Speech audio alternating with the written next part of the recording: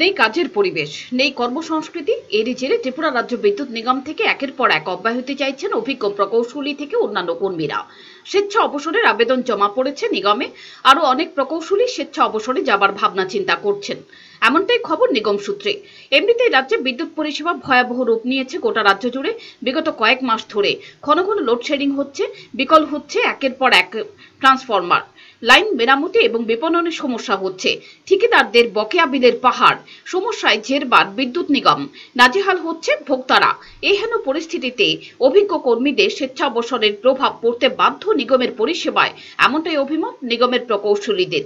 তাদের বক্তব্য এমনিতেই প্রবল কর্মী স্বল্পতায় ভুগছে নিগম। পূর্বতন সরকারের সময় বিভিন্ন শূন্য পদে ইন্টারভিউগুলো বাতিল করে দিয়েছে বর্তমান সরকার। নাম প্রকাশে অনিচ্ছুক এক প্রকৌশলী জানিয়েছেন, যাদের দক্ষতা কম, তাদের ওপরই বর্তমান সরকার নির্ভরশীল।